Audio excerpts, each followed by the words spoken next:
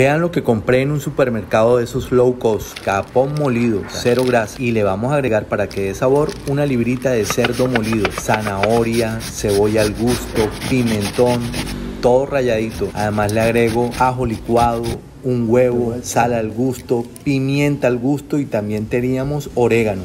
Dos cucharadas de harina de trigo para que le dé consistencia y vamos a amasar hasta que todos los ingredientes estén bien integrados y la dejamos reposar un rato porque hoy vamos a preparar rollo especial de carne con carne de res, cerdo y pollo. Además lleva jamón, queso mozzarella, verduras y va recubierto de tocineta, para lo cual vamos a colocar sobre una hoja de papel aluminio las tocinetas organizadas de forma diagonal y con una separación de unos 3 o 4 centímetros entre ellas. Después vamos a empezar a colocar así en tiritas la masa que hicimos con las carnes. Vamos a hacer estas filas y luego vamos a empezar a aplastar con las manos para que nos quede una cama sobre la cual vamos a poner las torrejas de jamón de pollo, luego vamos a poner queso mozzarella, vamos a agregar las verduras, en este caso pusimos cebolla, zanahoria, maíz dulce, alcaparras y aceitún. Y luego vamos a empezar a cerrar. Entonces llevamos el papel aluminio hacia un lado, nos devolvemos y luego empezamos con la ayuda del papel aluminio a enrollar.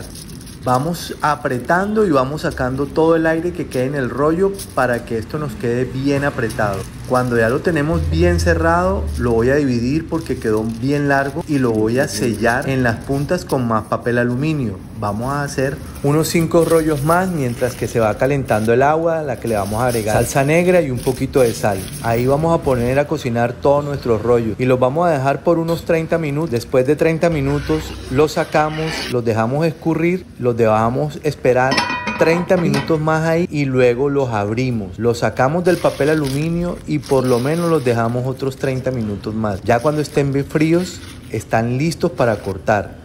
Nunca los corten calientes porque se pueden desarmar. En la cocina colombiana cuando te enviamos este tipo de recetas lo mandamos en refractarias de aluminio muy bien organizado, selladas y bien empacadas, con su salsa por aparte para que sea lo que tengas que calentar cuando vas a la mesa. Y te vamos a dar un ejemplo de cómo puedes hacer con estos rollos una cena bien sofisticada. Aquí preparamos un puré de papa y le damos una forma con un molde. Organizamos tres rollitos especiales de carne y voy a poner entre ellos arañitas de plátano Una ensaladita árabe bien picadita una porción de salsa de la casa ahumada y estamos listos. Muy buen provecho y contáctanos.